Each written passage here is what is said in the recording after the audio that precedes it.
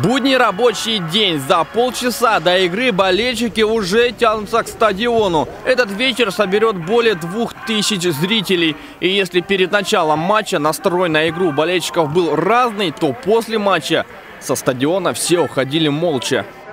Ну, 2-0 или 3-0 наши выиграют. Сложно сказать. Думаю, что будет 0-2. Еще до начала матча от болельщика был такой вердикт. Победа факела 2-0. Либо он что-то знал, либо ему нужно было покупать лотерейный билет. Игра проходила по сценарию гостей, и весь матч продолжался в таком темпе.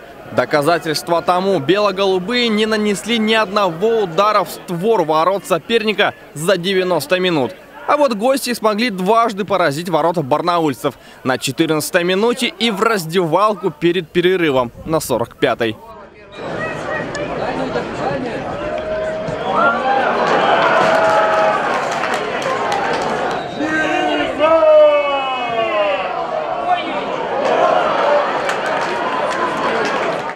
После неудачного первого тайма «Динамо» и во втором ничего не смогли сделать у ворот соперника. Буквально за пару часов до игры тренерскому штабу «Динамо» пришлось полностью менять схему на игру. Неожиданно для многих клуб покинул топ-игрок Антон Кобялко. Нападающий перебрался в стан тюменской команды.